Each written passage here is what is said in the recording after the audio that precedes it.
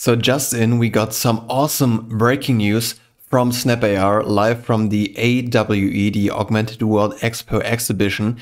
And they seemingly announced a new lightweight AR glasses, AR and AI glasses, which will be coming to the public in 2026. So probably you guys already know that Snapchat had um, published their spectacles, which was only for developers and kind of only some renting model uh, with a pretty impressive lightweight AR glasses already that I tested out a few months ago. I also did a video on that.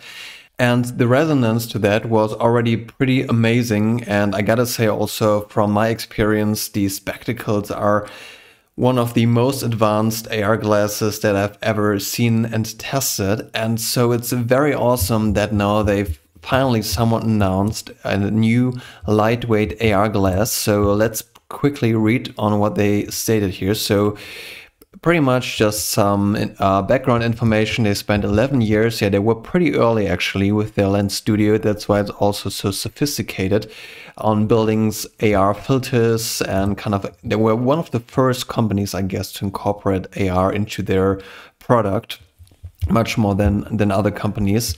And uh, 3 billion well that's uh, only a little fraction of what meta already invested but still what they managed to build is amazing for for that money uh, especially um, so they call them specs and probably some again ultra powerful uh, well let's see how powerful it will be in the end but lightweight pair of glasses with see-through lenses and this is amazing i mean there are other XR headsets on the market which also do augmented reality but then you still got this gigantic face computer on your head, which still doesn't feel really social.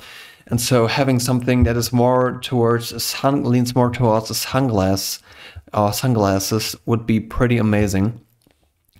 And so they want to include advanced machine learning and bring AI assistance into three dimensional space, which is also pretty amazing. I also did a video on augmented intelligence and augmented cognition, uh, which kind of combines uh, the uh, amazing and uh, magical 3D elements in your space with also a lot of understanding and kind of making you smarter in a sense. And um, yeah, just some background information. They want to make technology feel more human, which is definitely great when you have just normal, you know, pair of glasses uh, on your face. Uh, this is pretty good and then um, yeah some some uh, so they don't really give some preview here of what it will look like but they do actually yeah they show some samples of already existing applications like some cooking or also learning to play the drums. And there also were some examples i knew which kind of showed uh, how to play basketball and then kind of give, gave you a rating and some instructions on how to shoot um, and then they, but then they also talk a, bit about some pretty uh, substantial updates to Snap OS, which is what these spectacles are currently uh, running. And so they have deeper integration with OpenAI and Gemini, which is pretty cool. Um, so more integration with AI, um, and then um, also as 3D API, which is cool. So um, object generation generation um, which is pretty nice. Um, Real-time transcription of language. This will also be super helpful if you're somewhere on holidays or on a vacation, um, and and will make it much easier to kind of communicate with the locals, I guess.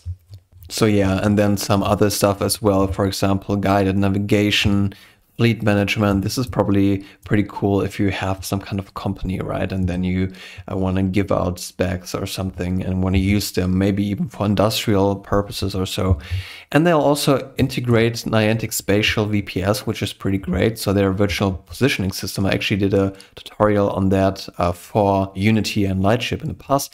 And very, very big WebXR support. This is amazing. WebXR is pretty great. It will basically transform any website into a augmented reality experience. So amazing news. I'm totally stoked and interested in how this specs will actually look, how much it costs. This will be a pretty big point because if it's kind of obtainable, I'll definitely be a day one uh, user. But if it will be like 3000 whatever, or even maybe $2,000, then will be pretty, pretty tough sell, I guess. But still, I don't know. It's it's an amazing time, and who knew that actually Snap were the first one to actually announce such glasses? I mean, we have the uh, Google Smart glasses and whatnot that they announced, but there's no real launch date for that, and they also usually don't really have like AR maybe just some overlay of a display. So this is pretty exciting news and hopefully I'll do a lot more videos on the new uh, specs. Um, but yeah, I just wanted to share that amazing breaking news with you all. And until then, see you next time and thanks for watching.